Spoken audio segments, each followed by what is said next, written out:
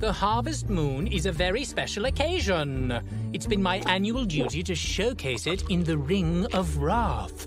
It's celebrated by a very charming little festival with the locals.